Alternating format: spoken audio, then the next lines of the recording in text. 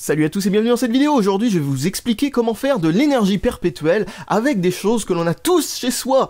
Alors, euh, c'est très très simple. En réalité, euh, l'énergie perpétuelle existe depuis très très longtemps, mais il y a des lobbies euh, de l'énergie non renouvelable qui veulent vous vendre de l'électricité depuis très longtemps et qui veulent garder leur monopole. Alors, ils font tout pour faire en sorte que ça ne se sache pas, mais en réalité, c'est très facile de faire de l'électricité totalement gratuitement chez soi, à, grâce à quelques ustensiles que vous allez voir tout de suite.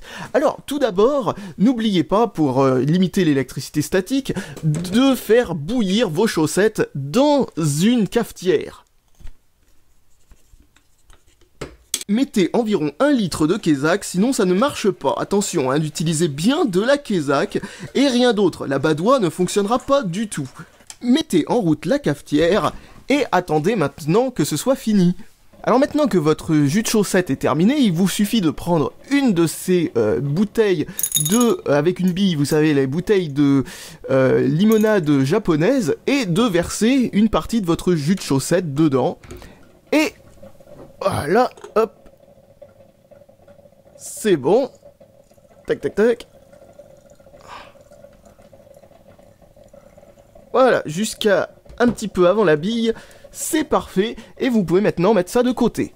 Pour la prochaine étape, maintenant, vous avez besoin d'une lampe xénon. Alors, vous en trouverez absolument n'importe où, hein, par exemple dans votre sèche-cheveux. Et euh, cette lampe, voici à quoi ça ressemble. Voilà.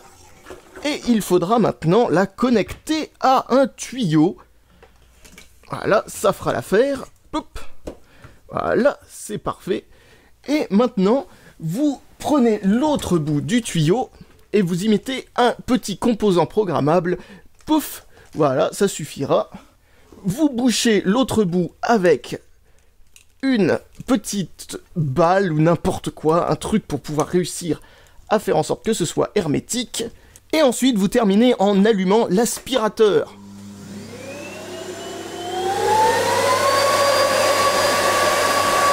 Une l'aspirateur allumé, vous pouvez remarquer que l'ordinateur s'allume alors qu'il n'est même pas relié au secteur. Incroyable, hein, n'est-ce pas?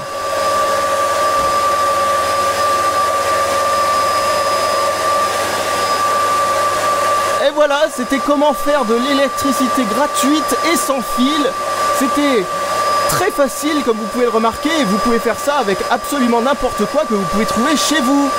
Allez, salut à tous et à la prochaine